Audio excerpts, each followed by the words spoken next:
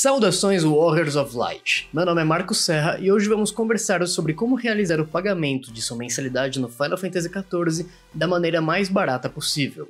O Final Fantasy XIV é um MMORPG japonês que requer mensalidade para ser jogado.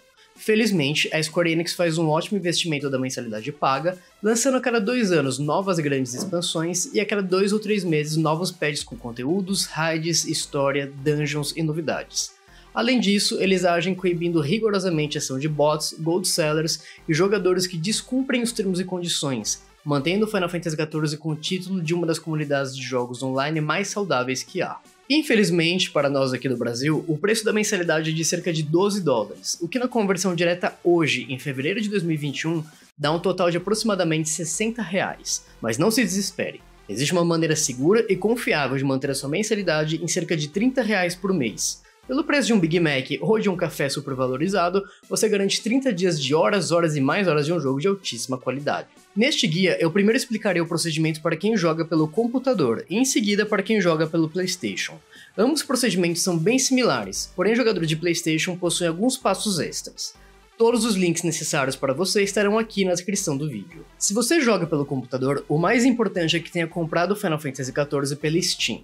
Felizmente, a Steam trava a taxa do dólar a pouco mais de R$ reais, o que significa que aqueles 12 dólares da mensalidade não totalizarão quase 60 reais se pagos via Steam, e sim algo em torno de 30 reais, geralmente um pouquinho menos. Para pagar via Steam, você deve acessar o site da Mogstation, realizar o login na sua conta. Se você já jogou Final Fantasy XIV alguma vez, você já possui uma conta. Se não, basta criar. E descer um pouco sua tela inicial até a área Service Account Status. Neste trecho da tela, clique em Steam Payment. Você deverá então escolher qual tipo de mensalidade deseja pagar, Standard ou Entry.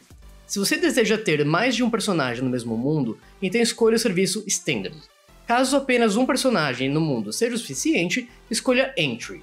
De qualquer forma, a mensalidade Standard é apenas R$ reais mais cara do que a Entry. Em seguida, escolha por quanto tempo deseja que sua mensalidade seja paga. Na assinatura Standard, suas opções são a cada 30, 90 ou 180 dias, enquanto na Entry você somente pode escolher a assinatura de 30 dias.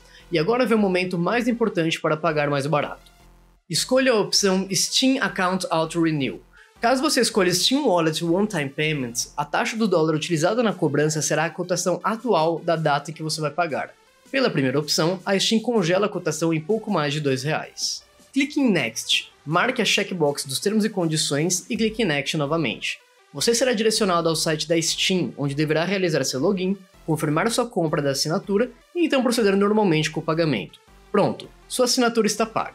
Caso tenha utilizado o cartão de crédito ou dispõe de dinheiro na sua Steam Wallet, o jogo mensalmente irá debitar o valor da sua assinatura automaticamente na data de renovação. Se você jogar pelo PlayStation, é importante entender que você deverá comprar o Final Fantasy XIV A Real Reborn na Steam.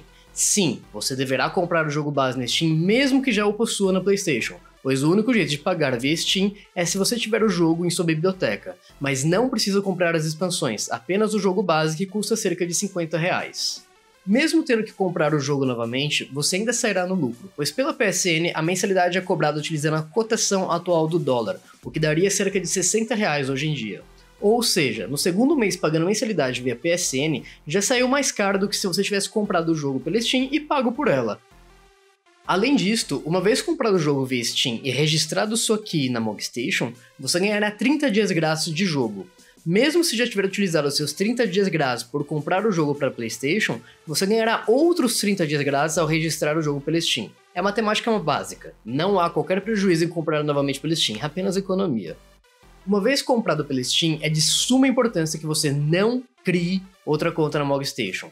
Logue utilizando a mesma conta que você já utiliza para jogar pelo PlayStation. Ao logar na Mogstation, desça a tela até a área de Additional Platforms.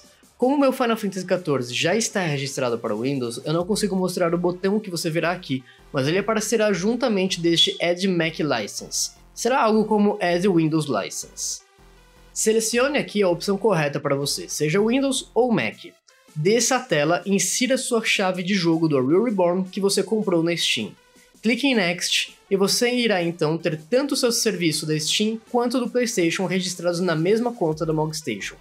Este passo só precisa ter sido feito uma única vez. Agora, basta você prosseguir com o nosso passo de pagamento via Steam para quem joga pelo PC e pronto, a partir de agora você irá economizar muito ao jogar o Final Fantasy XIV. Este foi o nosso tutorial de pagamento via Steam para o Final Fantasy XIV. Espero que vocês tenham gostado e se quiserem nos ajudar a continuar produzindo mais conteúdo, deixe seu like, seu comentário e compartilhe com os amigos. Tenha uma ótima aventura e nos vemos em breve.